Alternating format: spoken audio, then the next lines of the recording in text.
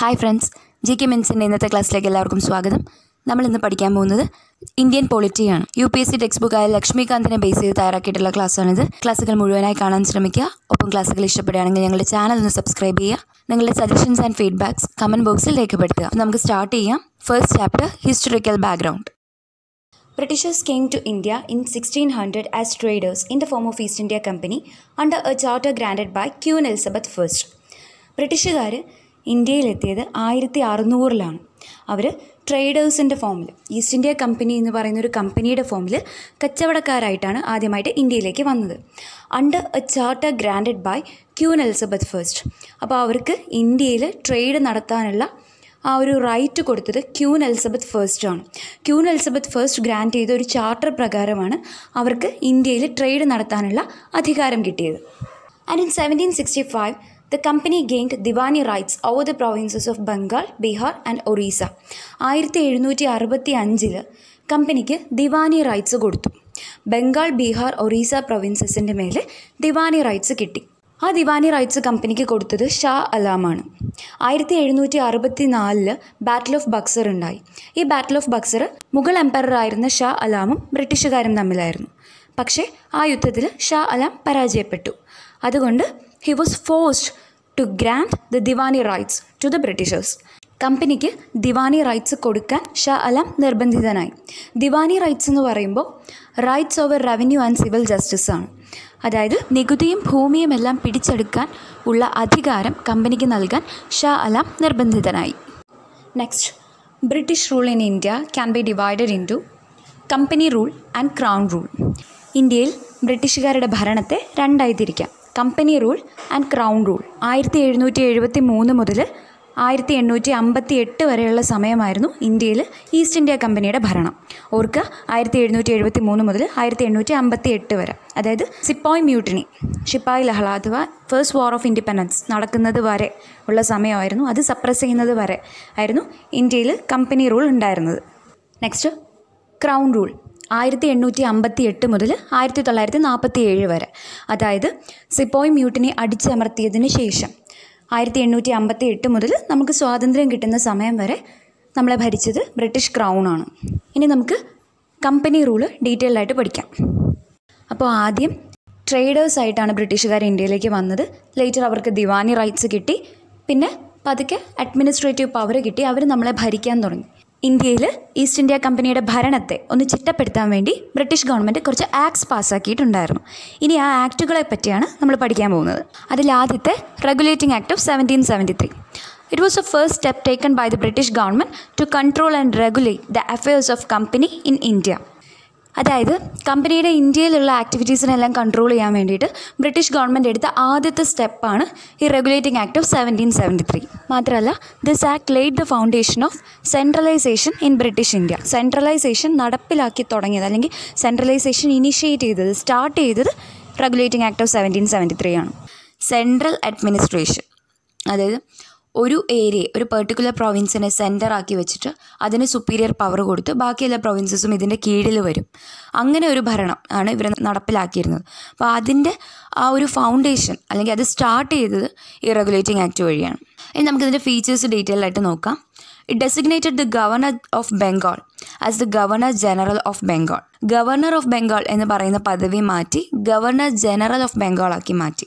Appointed an executive council consisting of four members to assist him ഈ governor general of ബംഗാളിനെ assist ചെയ്യാൻ വേണ്ടിയിട്ട് executive council നാല് members അടങ്ങുന്ന ഒരു എക്സിക്യൂട്ടീവ് കൗൺസിലിനെയും അപ്പോയിന്റ് ചെയ്തു. ബംഗാളിലെ ആദ്യത്തെ governor general lord Warren Hastings ആയിരുന്നു. ഓർത്തിരിക്കുക ബംഗാളിലെ ആദ്യത്തെ governor general lord Warren Hastings അപ്പോൾ ഈ ഒരു ആക്ട് വരുന്നത് വരെ ബംഗാൾ ബോംബെ മദ്രാസ് പ്രസിഡൻസീസൊക്കെ ഇൻഡിപെൻഡന്റ് ആയിരുന്നു. എല്ലാ പ്രസിഡൻസീസും ഒരേ ഫ്രീഡം അല്ലെങ്കിൽ ഒരേ സ്റ്റേറ്റസ് എൻജോയ് ചെയ്തിരുന്നതാണ്. പക്ഷേ ഈ ആക്ട് വന്നതിന് ശേഷം it made the governors of Bombay and Madras presidencies subordinate to the governor general of Bengal governor general of ബംഗാളിന് supreme power കൊടുത്തിട്ട് ബോംബെ മദ്രാസ് പ്രസിഡൻസീസിലെ ഗവർണേഴ്സിനെല്ലാം ഇദ്ദേഹത്തിന് കീഴിലാക്കി. As provided for the establishment of a supreme court at Calcutta in seventeen seventy four with one chief justice and three other judges കൽക്കട്ടയിൽ supreme court establish ചെയ്തു. ആയിരത്തി എഴുന്നൂറ്റി എഴുപത്തി നാലിൽ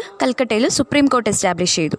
ആ സുപ്രീം കോർട്ടിലെ ടോട്ടൽ ജഡ്ജസിന്റെ സ്ട്രെങ്ത്ത് നാലായിരുന്നു. ഒരു ചീഫ് ജസ്റ്റിസും മൂന്ന് മറ്റ് ജഡ്ജസും ചേർന്ന് ടോട്ടൽ സ്ട്രെങ്ത്ത് നാലായിരുന്നു. അവിടുത്തെ ആദ്യത്തെ ജഡ്ജ് എലീജ ഇംപേ ആയിരുന്നു ഓർത്തിരിക്കുക first judge Elijah Impey. Next it prohibited the servants of the company from engaging in private trade or receiving bribes or gifts from the natives കമ്പനിയുടെ സെർവൻസിന് കമ്പനിയുടെ പെർമിഷൻ ഇല്ലാതെ വ്യാപാരം നടത്തുന്നതിൽ നിന്നും ഇന്ത്യക്കാരുടെ കയ്യിൽ നിന്ന് മറ്റ് ആനുകൂല്യങ്ങൾ കൈപ്പറ്റുന്നതിൽ നിന്നുമൊക്കെ company വിലക്കിയിരുന്നു. It strength and the control of British government over the company അതായത് കമ്പനിയുടെ കൺട്രോൾ എപ്പോഴും ബ്രിട്ടീഷ് ഗവൺമെന്റിന്റെ കയ്യിലായിരുന്നു. കമ്പനി ജസ്റ്റ് ഒരു നോമിനൽ ഹെഡായിരുന്നു നമ്മളെ റൂൾ ചെയ്യുന്നത് കമ്പനി ആയിരുന്നെങ്കിലും അവരുടെ കൺട്രോൾ അൾട്ടിമേറ്റ് കൺട്രോൾ എന്ന് പറയുന്നത് എപ്പോഴും ബ്രിട്ടീഷ് ഗവൺമെന്റിന്റെ കയ്യിൽ തന്നെയായിരുന്നു. സോ ആ ഒരു കൺട്രോൾ സ്ട്രെങ്തൻ ചെയ്യാൻ വേണ്ടിയിട്ട് ഈ ആക്ട് ശ്രമിച്ചു. And order the court of directors to report on the revenue civil and military affairs of the company in India അതായത് കോർട്ട് ഓഫ് ഡയറക്ടേഴ്സ് എന്ന് പറഞ്ഞിട്ടൊരു ബോഡിയുണ്ട് ഈ ഈസ്റ്റ് ഇന്ത്യ കമ്പനിക്ക് അതാണ് ആ ഈസ്റ്റ് ഇന്ത്യ കമ്പനിയുടെ ഗവേണിംഗ് ബോഡിയായിട്ട് ആക്ട് ചെയ്യുന്നത്. അപ്പോൾ അവരോട് പറഞ്ഞു കമ്പനിയുടെ ആക്ടിവിറ്റീസ് ഇന്ത്യയിൽ കമ്പനി എന്തൊക്കെ ആക്ടിവിറ്റീസ് നടത്തുന്നു? അത് റവന്യൂ റിലേറ്റഡ് ആയാലും സിവിൽ മിലിറ്ററി അഫയേഴ്സുമായി ബന്ധപ്പെട്ട എന്ത് കാര്യങ്ങളാണെങ്കിലും ശരി. അതെല്ലാം യഥാസമയം ബ്രിട്ടീഷ് ഗവൺമെന്റിനെ റിപ്പോർട്ട് ചെയ്യണമെന്ന് കോർട്ട് ഓഫ് ഡയറക്ടേഴ്സിനോട് ആവശ്യപ്പെട്ടിട്ടുണ്ട്. അപ്പോൾ ഇത്രയുമാണ് regulating act of seventeen seventy ത്രീയിൽ ഓർത്ത് വയ്ക്കേണ്ട കാര്യങ്ങൾ. ദെൻ അടുത്ത ആക്ട് നോക്കാം. Pitt's India act of seventeen eighty four defects of regulating act of seventeen seventy three British parliament passed yet another act called amending act of seventeen eighty one which is also known as act settlement ഈ regulating act of seventeen defects ഒന്ന് പരിഹരിക്കാൻ വേണ്ടിയിട്ട് British parliament വേറൊരു act പാസ്സാക്കി. Amending act of seventeen eighty one അല്ലെങ്കിൽ act of settlement എന്നറിയപ്പെടുന്ന amending act of seventeen eighty one അതിനുശേഷമാണ് Pitt's India act വരുന്നത് സെവന്റീൻ എയ്റ്റി ഫോറിൽ അപ്പോൾ അതിലെ ഫീച്ചേഴ്സ് എന്താണെന്ന് നമുക്ക് നോക്കാം. It distinguished between the political and commercial functions of the company കമ്പനിയുടെ പൊളിറ്റിക്കൽ ആൻഡ് കൊമേഴ്ഷ്യൽ ഫംഗ്ഷൻസ് വേർതിരിച്ചു. Empower the court of directors to handle the commercial affairs of the company court of ഡയറക്ടേഴ്സിനെ commercial affairs commercial functions കൈകാര്യം ചെയ്യാൻ ചുമതലപ്പെടുത്തി. അപ്പോൾ commercial affairs deal ചെയ്യുന്നത് court of directors ആയിരിക്കും. പുതിയതായിട്ടൊരു body create ചെയ്തു. Board of control എന്ന് പറഞ്ഞിട്ട് ഒരു പുതിയ ബോഡി ക്രിയേറ്റ് ചെയ്തു. എന്നിട്ട് ഈ ബോർഡ് ഓഫ് കൺട്രോളിനെ പൊളിറ്റിക്കൽ അഫയേഴ്സ് കൈകാര്യം ചെയ്യാനും ചുമതലപ്പെടുത്തി. ഓർക്കുക കോർട്ട് ഓഫ് ഡയറക്ടേഴ്സിനെ കൊമേഴ്ഷ്യൽ അഫയേഴ്സ് കൈകാര്യം ചെയ്യാനും അതുപോലെ തന്നെ ബോർഡ് ഓഫ് കൺട്രോളിനെ പൊളിറ്റിക്കൽ അഫയേഴ്സ് കൈകാര്യം ചെയ്യാനും ചുമതലപ്പെടുത്തി. അപ്പോൾ ഇവിടെ രണ്ട് സിസ്റ്റം വരുന്നുണ്ട്. അപ്പോൾ അതുകൊണ്ടാണ് ഇതിന് സിസ്റ്റം ഓഫ് ഡബിൾ ഗവൺമെന്റ് എന്ന് പറയുന്നത്. ഇപ്പോൾ രണ്ട് വിങ് വരുന്നുണ്ട് രണ്ട് ബോഡീസ് വരുന്നുണ്ട് രണ്ട് സെപ്പറേറ്റ് ഫങ്ഷൻസിനെ കൈകാര്യം ചെയ്യാൻ വേണ്ടിയിട്ട്. അതുകൊണ്ട് ആണ് അതിന് സിസ്റ്റം ഓഫ് ഡബിൾ ഗവൺമെന്റ് എന്ന് പറയുന്നത്. അപ്പോൾ ഓർക്ക് system of double government introduce ചെയ്തത് ഈ പിറ്റ്സിന്റെ act of seventeen eighty four വഴിയാണ്. Next it empowered the board of control to supervise and direct the civil and military operations of the government or the revenues of british possession in india. Additionally board of കൺട്രോളിന് കൊടുത്തിരുന്ന ഒരു duty എന്ന് പറഞ്ഞാൽ കമ്പനിയുടെ civil and military ഓപ്പറേഷൻസിനെ supervise ചെയ്യുക. അതേപോലെ തന്നെ company പിടിച്ചെടുത്ത ടെറിറ്ററീസിനെ എല്ലാം നോക്കി നടത്തുക. ഇന്ത്യയിൽ കമ്പനി പിടിച്ചെടുത്ത ടെറിറ്ററീസ് ഏരിയകൾ എല്ലാം നോക്കി നടത്തുക. ഇനി ഈ ആക്ടിന്റെ സിഗ്നിഫിക്കൻസ് എന്താണെന്ന് വെച്ചാൽ companies territories in India were for the first time called as British possessions in India കമ്പനിയുടെ ടെറിട്ടറീസ് ഇന്ത്യയിലുള്ള കമ്പനിയുടെ ടെറിട്ടറീസ് ആദ്യമായിട്ടാണ് ബ്രിട്ടീഷ് പൊസഷൻസ് എന്ന പേരിൽ അറിയപ്പെടാൻ തുടങ്ങിയത്. ഓർത്തിരിക്കുക കമ്പനിയുടെ territories British possessions in India എന്ന പേരിൽ അറിയപ്പെടാൻ തുടങ്ങിയത് ഈ ആക്ട് വന്നതിന് ശേഷമാണ്. പിറ്റ്സിന്റെ ആക്ട് വന്നതിന് ശേഷമാണ്. Next coming to charter act of eighteen thirty three it was a final step towards centralization in British India British ഇന്ത്യയിലെ സെൻട്രലൈസേഷന്റെ അവസാനത്തെ സ്റ്റെപ്പാണ് charter act of eighteen thirty three regulating act of seventeen seventy three ആണ് first step towards centralization and last step towards centralization ചോദിച്ചു കഴിഞ്ഞാൽ charter act of eighteen thirty three ആണ്. ഇനി നമുക്ക് അതിന്റെ ഫീച്ചേഴ്സ് നോക്കാം. The designation of governor general of Bengal was change to governor general of India governor general of ബംഗാളിനെ governor general of India ആക്കി മാറ്റി. And who was the first governor general of India അത് important ആണ്. ഓർത്തിരിക്കുക. Lord William Bentinck ആണ് ആദ്യത്തെ governor general of India next point deprived governors of both Bombay and Madras of their legislative powers Bombay Madras ഗവർണേഴ്സിനെ അവരുടെ legislative powers നിന്ന് മാറ്റി. Legislative powers അവർക്കിനി ഇല്ല. അവരുടെ ലെജിസ്ലേറ്റീവ് പവേഴ്സിനെ മാറ്റിയിട്ട് ആ ലെജിസ്ലേറ്റീവ് പവേഴ്സ് കംപ്ലീറ്റ് ആയിട്ട് ഗവർണർ ജനറൽ ഓഫ് ഇന്ത്യയ്ക്ക് കൊടുത്തു. ഇന്ത്യയുടെ മുഴുവൻ ഹോൾ ബ്രിട്ടീഷ് ഇന്ത്യയുടെ ലെജിസ്ലേറ്റീവ് പവേഴ്സ് ഈ ഗവർണർ ജനറൽ ഓഫ് ഇന്ത്യയ്ക്ക് കൊടുത്തു. Laws made under this act came to be called as act ഈ ഒരു ആക്ട് വഴി വരുന്ന നിയമങ്ങളെ മാത്രമാണ് ആക്ട് എന്ന് വിളിക്കുന്നത്. ഇതിനു മുമ്പേ പറഞ്ഞ ആക്ട്സിന്റെ എല്ലാം കീഴിൽ വരുന്ന നിയമങ്ങളെ റെഗുലേഷൻസ് എന്നാണ് പറയുന്നത്. ഇതിനെ മാത്രമാണ് ആക്ട് ഫസ്റ്റ് ടൈം ആക്ട് എന്ന് പറയുന്നത് ഈ charter act of eighteen thirty three വഴി വരുന്ന നിയമങ്ങളെയാണ്. It ended the activities of East India company as a commercial body which became a purely administrative body അതായത് ഈസ്റ്റ് ഇന്ത്യ കമ്പനിയുടെ നമ്മൾ നേരത്തെ പറഞ്ഞില്ലേ കോർട്ട് ഓഫ് ഡയറക്ടേഴ്സ് ആണ് കൊമേഴ്ഷ്യൽ ഫംഗ്ഷൻസ് കൈകാര്യം ചെയ്തിരുന്നതെന്ന്. ആ കൊമേഴ്ഷ്യൽ ഫംഗ്ഷൻസ് കംപ്ലീറ്റ് ആയിട്ട് അങ്ങ് അവസാനിപ്പിച്ചു. അതായത് ഈസ്റ്റ് ഇന്ത്യ കമ്പനിയെ കൊമേഴ്ഷ്യൽ ബോഡി എന്നുള്ള ആ ഒരു സ്ഥാനം അല്ലെങ്കിൽ അതിന്റെ ആ ഒരു ആക്ടിവിറ്റീസ് അവസാനിപ്പിച്ചു. അങ്ങനെ കമ്പനി പ്യുവർലി ഒരു അഡ്മിനിസ്ട്രേറ്റീവ് ബോഡി ആയിട്ട് മാറി. അവർ ട്രേഡേഴ്സ് ആയിട്ടാണ് അറ്റ് ഫസ്റ്റ് വന്നത്. പക്ഷെ പിന്നീട് ഓരോ വർഷം കഴിയുന്നോറും അവരുടെ ആധിപത്യം അവർ സ്ഥാപിച്ചുകൊണ്ടേയിരുന്നു. അപ്പോൾ ആ ഒരു ചേഞ്ചാണ് ഈ ഓരോ ആക്സ് വഴി നമുക്ക് മനസ്സിലാക്കാൻ പറ്റുന്നത്. ആദ്യം അവർ ട്രേഡേഴ്സായിട്ട് വന്നു. പിന്നെ അവർക്ക് ദിവാനി റൈറ്റ്സ് കിട്ടി. അവർ റവന്യൂ കളക്ട് ചെയ്യാൻ തുടങ്ങി. അവർ ടെറിട്ടറീസ് പിടിച്ചെടുക്കാൻ തുടങ്ങി. അങ്ങനെ ചെയ്ത് ചെയ്ത് കുറേ നാൾ കഴിഞ്ഞപ്പോഴേക്കും അവർക്ക് കുറേ ചേഞ്ചസ് വന്നു. അവർ അഡ്മിനിസ്ട്രേഷൻ അങ്ങ് സ്റ്റാർട്ട് ചെയ്തു. അവർ പയ്യെ നമ്മളെ ഭരിക്കാൻ തുടങ്ങി. It provided that the company's territories in India were held by it in trust for His Majesty, his heirs. കമ്പനിയുടെ ടെറിട്ടറീസ് ഇന്ത്യയിലുള്ള കമ്പനിയുടെ ടെറിട്ടറീസ് എല്ലാം അത് ജസ്റ്റ് കമ്പനി ഒരു നോമിനൽ ഹെഡായിട്ട് തന്നെ ഇരിക്കും. പക്ഷേ അതിന്റെ എല്ലാം സുപ്രീം കൺട്രോൾ ആർക്കാണ്? ഹിസ് മെജസ്റ്റി എന്ന് പറയുന്നത്. അത് ബ്രിട്ടീഷ് ക്രൗണിനാണ് അപ്പോൾ ഇന്ത്യയിൽ ജസ്റ്റ് ഒരു നോമിനൽ ഹെഡായിട്ട് മാത്രം ഒരു നോമിനൽ റൂൾ നടത്താൻ വേണ്ടി മാത്രം കമ്പനിയുണ്ട്. കമ്പനി ഇവിടെ ഭരിക്കുന്നു. പക്ഷേ അതിന്റെ എല്ലാം കേന്ദ്രം അല്ലെങ്കിൽ മാസ്റ്റർ മൈൻഡ് എന്ന് പറയുന്നത് എപ്പോഴും ബ്രിട്ടീഷ് ക്രൗൺ തന്നെയായിരിക്കും. Attempt to introduce a system of open competition for selection of civil servants and stated that Indians should not be debarred from holding any position of office and employment under the company but this provision was negated after opposition from the court of directors ഇവർ ഒരു open civil service system introduce ചെയ്യാൻ ശ്രമിച്ചു. Open system of competition in civil service introduce ചെയ്യാൻ ശ്രമിച്ചു. അതായത് ഇന്ത്യക്കാരെ കൂടെ ഉൾപ്പെടുത്തിയിട്ട്. എടുത്തു പറഞ്ഞ ഒരു കാര്യമാണ് no Indian should be debarred from holding any place under the company കമ്പനിയുടെ കീഴിൽ ഒരു ഇന്ത്യൻസിനെയും നമ്മളതിൽ നിന്ന് ഒഴിവാക്കി നിർത്താൻ പാടില്ല. എല്ലാ ഇന്ത്യൻസിനും ഒരു പൊസിഷൻ കൊടുക്കണം. ഇതിൽ പാർട്ടിസിപ്പേറ്റ് ചെയ്യാനുള്ള ഒരു പൊസിഷൻ കൊടുക്കണം. കമ്പനിയുടെ കീഴിൽ വർക്ക് ചെയ്യാനുള്ള ഏത് ഓഫീസ് ഹോൾഡ് ചെയ്യാനുള്ള ഒരു റൈറ്റ് ഇന്ത്യൻസിന് കൊടുക്കണം. അല്ലെങ്കിൽ ഒരു ഇന്ത്യൻസിനെ പോലും മാറ്റി നിർത്താൻ പാടില്ല എന്നൊരു കാര്യം ഈ ആക്ട് പ്രകാരം പറഞ്ഞിരുന്നു. പക്ഷേ കോർട്ട് ഓഫ് ഡയറക്ടേഴ്സ് സ്ട്രോങ്ലി ഇതിനെ ഒപ്പോസ് ചെയ്തത് കൊണ്ട് ഇത് നിലവിൽ വന്നില്ല.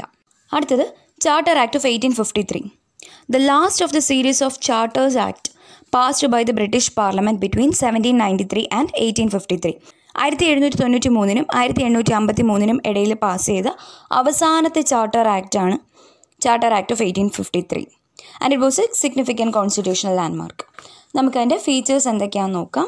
It separated for the first time the legislative and executive functions of governor general's council governor general കൗൺസിലിന്റെ ഫംഗ്ഷൻസിനെ ലെജിസ്ലേറ്റീവ് എന്നും എക്സിക്യൂട്ടീവ് എന്നും രണ്ടായിട്ട് സെപ്പറേറ്റ് ചെയ്തു.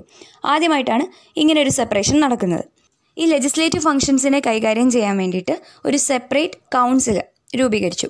ഗവർണർ ജനറൽസ് ലെജിസ്ലേറ്റീവ് കൗൺസിൽ ആ കൗൺസിലിലേക്ക് ആറ് പുതിയ മെമ്പേഴ്സിനെ അപ്പോയിന്റ് ചെയ്യുകയും ചെയ്തു. ലെജിസ്ലേറ്റീവ് കൗൺസിലേഴ്സ് എന്ന പേരിൽ ആറ് പുതിയ മെമ്പേഴ്സിനെ അപ്പോയിന്റ് ചെയ്തു. ഇങ്ങനെയുണ്ടായ ഈ ഗവർണർ ജനറൽസ് ലെജിസ്ലേറ്റീവ് കൗൺസിലാണ് പിന്നീട് ഇന്ത്യൻ ലെജിസ്ലേറ്റീവ് കൗൺസിൽ എന്ന പേരിൽ അറിയപ്പെടാൻ തുടങ്ങിയത്.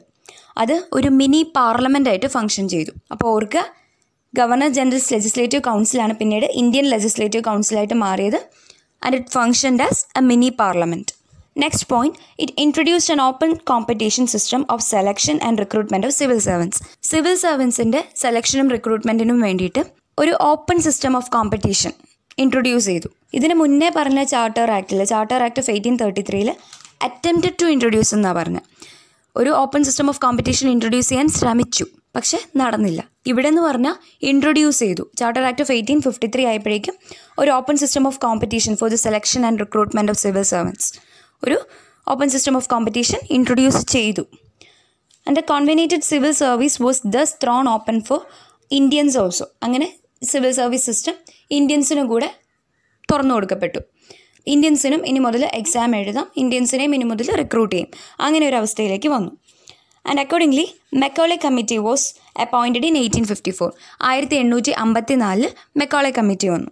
Committee on Indian civil services ആണ് Macaulay committee ഓർക്ക committee on Indian civil services Macaulay committee ആയിരത്തി എണ്ണൂറ്റി അമ്പത്തി നാലിൽ വന്ന Macaulay committee next It extended the company's rule and allowed it to retain the possession of Indian territories on trust for British Crown. കമ്പനിയുടെ rule ഇത് കുറച്ചുകൂടെ extend ചെയ്തു. ഓരോ വർഷം കഴിയുന്തോറും കമ്പനി കുറച്ചുകൂടെ സ്ട്രോങ് ആയി വരികയായിരുന്നു. അപ്പോൾ അതിന്റെ ഭാഗമായിട്ടാണ് ഇറ്റ് എക്സ്റ്റെൻഡഡ് ഈ ആക്ട് വന്നപ്പോഴേക്കും it extended the company's rule and allowed it to retain the positions of Indian territories on trust for British crown അപ്പോൾ കമ്പനി റൂൾ എക്സ്റ്റെൻഡ് ചെയ്തു. അതുപോലെ തന്നെ കമ്പനിയുടെ ടെറിട്ടറീസ് ബ്രിട്ടീഷ് ക്രൗണിന്റെ നേതൃത്വത്തിൽ കമ്പനിയുടെ ടെറിട്ടറീസ് നോക്കി നടത്താനുള്ള ഒരു അവകാശം കമ്പനിക്ക് വിട്ടുകൊടുത്തു. But it didn't specify any particular period unlike the previous charters അപ്പോൾ ഇതിനു മുമ്പേ പറഞ്ഞ പോലെ ഇത്ര നാളത്തേക്ക് എന്ന് പറഞ്ഞൊരു പീരീഡ് അവർ ടാർജറ്റ് ചെയ്തില്ല. അതുകൊണ്ട് തന്നെ ഏതൊരു സമയത്ത് വേണമെങ്കിലും കമ്പനിയുടെ റൂൾ ക്രൗണിന് ബ്രിട്ടീഷ് ക്രൗണിന് അവസാനിപ്പിക്കാം. ഇന്ത്യയിലുള്ള കമ്പനിയുടെ റൂൾ എപ്പോൾ വേണമെങ്കിലും ബ്രിട്ടീഷ് ക്രൗണിന് ടെർമിനേറ്റ് ചെയ്യാം. കാരണം ഒരു ഒരു പെർട്ടിക്കുലർ പീരീഡ് ഒരു ടാർജറ്റ് പീരീഡ് എടുത്തു പറയാത്തത് കൊണ്ട് next point it introduced for the first time local representation in Indian legislative council ഈ ഇന്ത്യൻ ലെജിസ്ലേറ്റീവ് കൗൺസിലിലേക്ക് ലോക്കൽ റെപ്രസെന്റേഷൻ ആദ്യമായിട്ട് കൊണ്ടുവന്നത് charter act of eighteen fifty three ആണ്. നമ്മൾ നേരത്തെ പറഞ്ഞു ഗവർണർ ജനറൽ ലെജിസ്ലേറ്റീവ് കൗൺസിലിനെയാണ് ഇന്ത്യൻ ലെജിസ്ലേറ്റീവ് കൗൺസിൽ എന്ന് പറയുന്നതെന്നും അതിലേക്ക് ആറ് പുതിയ മെമ്പേഴ്സിനെ ലെജിസ്ലേറ്റീവ് കൗൺസിലേഴ്സ് എന്ന പേരിൽ ആറ് പുതിയ മെമ്പേഴ്സിനെ ആഡ് ചെയ്തിട്ടുണ്ടെന്നും. അപ്പോൾ ഈ ആറിൽ നാല് പേരെ ലോക്കൽ ഗവൺമെന്റ്സ് ആയിരിക്കും അപ്പോയിന്റ് ചെയ്യുക. Four members were to be appointed by local governments അല്ലെങ്കിൽ provincial governments of Madras Bombay Bengal and Agra ഓർത്തിരിക്കുക ലോക്കൽ റെപ്രസെന്റേഷൻ ആദ്യമായിട്ട് ഇൻട്രൊഡ്യൂസ് ചെയ്തത് എയ്റ്റീൻ ഫിഫ്റ്റി ത്രീയിലെ ചാർട്ടർ ആക്റ്റാണ് ആറ് മെമ്പേഴ്സിൽ ലെജിസ്ലേറ്റീവ് കൗൺസിലിലേക്ക് അപ്പോയിന്റ് ചെയ്യുന്ന ആറ് മെമ്പേഴ്സിൽ നാല് പേരെ അപ്പോയിന്റ് ചെയ്യുന്നത് പ്രൊവിൻഷ്യൽ ഗവൺമെന്റ്സ് ആയിരിക്കും. ഈ ബോംബെ മദ്രാസ് ബംഗാൾ ആഗ്ര അവിടെ നിന്നൊക്കെ ഉള്ള പ്രൊവിൻഷ്യൽ ഗവൺമെന്റ്സ് ആയിരിക്കും ഈ നാല് മെമ്പേഴ്സിനെ അപ്പോയിന്റ് ചെയ്യുന്നത്. അപ്പോൾ ഇത്രയാണ് കമ്പനി റൂളിനെ കുറിച്ച് പഠിക്കേണ്ടത്. നന്നായി പഠിക്കുക. അപ്പോൾ ഈ ക്ലാസ്സിനെ ബേസ് ചെയ്തിട്ടുള്ള ക്വസ്റ്റ്യൻസ് പി ഡി എഫ് ഫോമാറ്റിൽ ഞങ്ങളുടെ വെബ്സൈറ്റിൽ ലഭ്യമാണ്. വെബ്സൈറ്റിന്റെ ലിങ്ക് താഴെ ഡിസ്ക്രിപ്ഷൻ ബോക്സിൽ ആഡ് ചെയ്തിട്ടുണ്ട്. Thank you for watching